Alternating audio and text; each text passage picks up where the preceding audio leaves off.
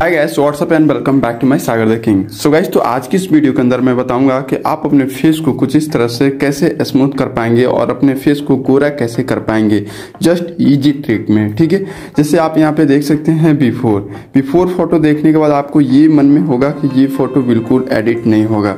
But इस video में आपको कुछ इस टाइप से फ़ोटो को स्मूथ और गोरा करके और colour grading I mean totally proper आपको बताऊँगा कि आप अपने एकदम से बेकार फ़ोटो को डल फ़ोटो को कुछ इस टाइप से कैसे एडिट कर पाओगे। ठीक है तो वीडियो काफ़ी ज़्यादा इंटरेस्टिंग होगा और वीडियो थोड़े से भी अच्छी लगी तो वीडियो को लाइक कीजिएगा, ठीक है? और इस वीडियो में आपको ऐसे टूल के बारे में और ऐसा सेटिंग बताने वाला हूँ। ये जितना भी ब्लैक दिख रहा है, ये आप चुटकी में आप ऐसे चुटकी बजाकर आप ठीक कर पाओगे। आई मीन उसको अच्छे से गोरा कर पाओगे, ठीक है? तो सो, चलिए वीडियो को शुरू करते हैं। ओके गैस तो मेरे मोबाइल के होम स्क्रीन पे आप देख सकते हैं ये तीन एप्लीकेशन ठीक है? तो हम लोग आज इस तीन एप्लीकेशन से फ़ोटो को एडिट करेंगे, ठीक है? फ़र्स्ट फ़ोटो इंपोर्ट करेंगे स्नैपसीट के अंदर, ठीक है? तो मैं क्या करूँगा स्नैपसीट को ओपन करूँगा एंड उसके बाद इस पर टैप करके मैं फ़ोटो को ऐड कर लूँगा, ठीक है? सो फ़ोटो को ऐड करने के बाद आपको क्या करना है? सिंपली आपको टूल्स वाले ऑप्शन पे आना है एंड उसके बाद आपको यहाँ पे ट्यून इमेज ऑप्शन देखने को मिल जाएगा, ठीक है? इसमें आने के बाद आपको क्या करना है? ब्राइटनेस को कुछ इस तरह से इंक्रीज कर देना है, ठीक है? यहाँ पे आपको 50 रख देना है। नहीं फिफ्टी नहीं थोड़ा सा और ज़्यादा इंक्रीज कर लेना है ठीक है? सिक्सटी टू रख लेना है। उसके बाद आपको एम्बियंस में आना है। एम्बियंस को कुछ इस तरह से आपको क्या करना है? फिफ्टी कर देना है ठीक है? और साइडों को भी कुछ इस तरह से आपको इंक्रीज कर देना है। आई मीन फिफ्टी कर देना है ठीक है? एंड डन कर देना है। सो so, डन करने के बाद आपको क्या करना है?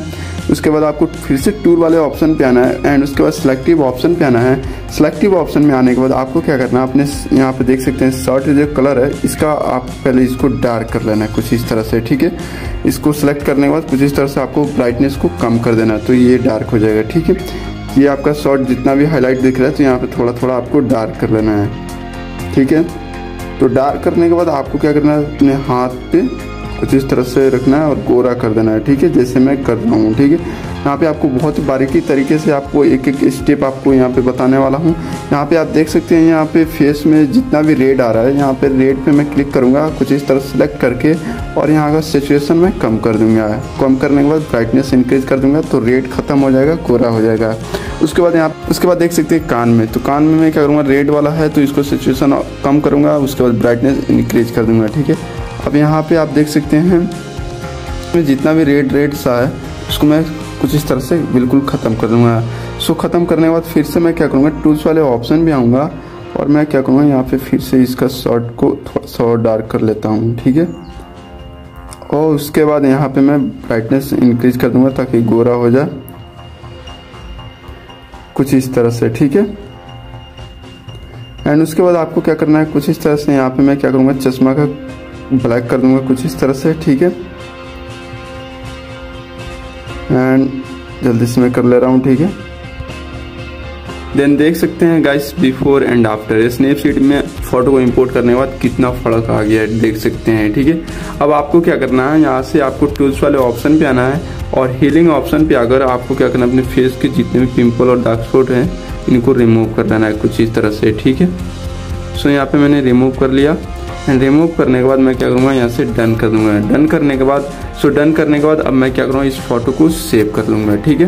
तो स्पॉट पे आऊँगा, उसके बाद सेव पे क्लिक करके इस फ़ोटो को मैं सेव कर लूँगा सो सेव करने के बाद अब मैं चलूँगा अब मैं चलूँगा स्केच बुक के अंदर, ठीक है? फेस को स्मूथ करने के लिए, ठीक है?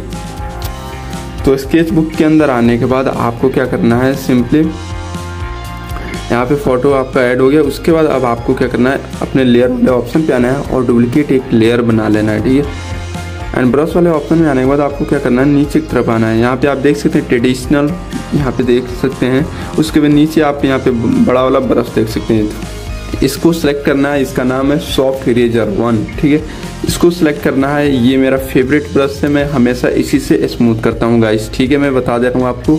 उसके बाद आपको सेटिंग में आना है। सेटिंग आपको क्या रखना है, मैं ये भी बता दे रहा हूँ, ठीक है? सबसे पहले यहाँ पे देख सकते हैं ब्रश टाइप्स जो है, इसको चेंज कर देना है। आपको स्मच रख देना है, ठीक है? उसके बाद यहाँ पे फ्लो चार रहेगा, जितना है चार, उसके बाद स्थेंद को यहाँ पे मैं तीन रख दूँगा, ठीक है?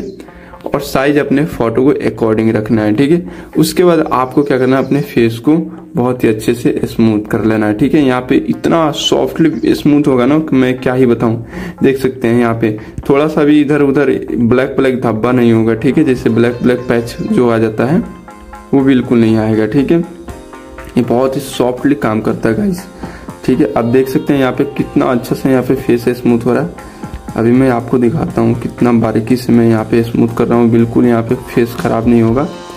ठीक है?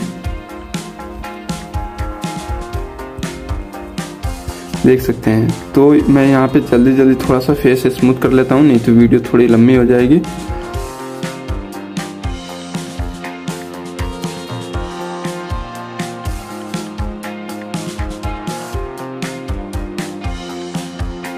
ओके दोस्तों तो आप देख सकते हैं यहाँ पे मैंने फाइनली अच्छे से प्रॉपर तरीके से यहाँ पे मैंने अपने फेस को स्मूथ कर लिया है, ठीक है?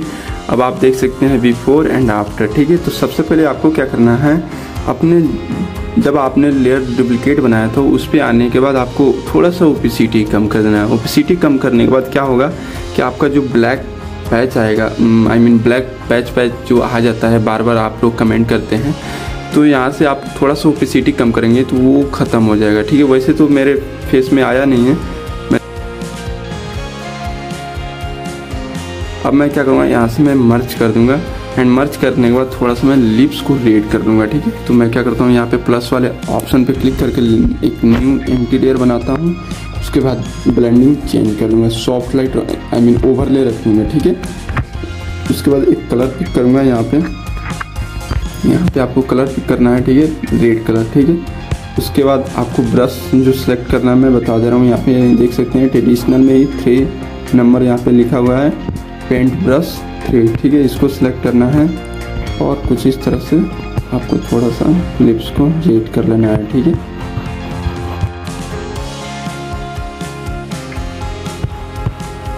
ठीक है तो आप देख सकते हैं यहाँ पे लिप्स रेड हो चुका है। बस यहाँ से मैं थोड़ा सा ओपिसिटी कम कर दूँगा, ठीक है? देख सकते हैं गैस यहाँ पे मैंने थोड़ा सा स्मूथ किया आई मीन थोड़ा सा लिप्स को रेड किया हूँ इसको मैं लाइट में थोड़ा ज़्यादा कर लूँगा, ठीक है? यहाँ पे अगर करूँगा तो ये बिल्कुल फेक सा लगेगा। तो उसके बाद मैं इसको मर्ज कर दूँगा एंड मर्ज करने के बाद अब फाइनली मैं चलूँगा लाइट के अंदर इस फ़ोटो को सेव करने के बाद, ठीक है? शेयर पे क्लिक करूँगा सेव टू डिवाइस उसके बाद लाइट में ऐड करूँगा। एंड लाइट में ऐड करने के बाद यहाँ से क्या करना है, आपको सबसे पहले आपको लाइट वाले ऑप्शन में आना है और कंट्रास्ट थोड़ा सा इंक्रीज करना है और हाईलाइट को हल्का सा कम करके शेडो को हल्का सा इंक्रीज करना है एंड ब्लैक को थोड़ा सा कम कर देना है, ठीक है? उसके बाद आपको सिंपली मिक्स वाले ऑप्शन में आना है। यहाँ पर लिप्स का थोड़ा कलर सा, थोड़ा सा इंक्रीज कर लेना है और कम कर दूँगा इधर थोड़ा सा लुमिनेंस ठीक है? उसके बाद इस वाले कलर में आऊँगा तो थोड़ा सा सेचुएशन कम करके लुमिनेंस बढ़ा दूँगा तो फेस गोरा हो जाएगा, ठीक है? उसके बाद यहाँ से मैं थोड़ा सा कम कर दूँगा। हो गया। तो यहाँ पे मैंने थोड़ा सा कलर ग्रेडिंग किया था, कुछ ज़्यादा नहीं किया था, ठीक है गाइस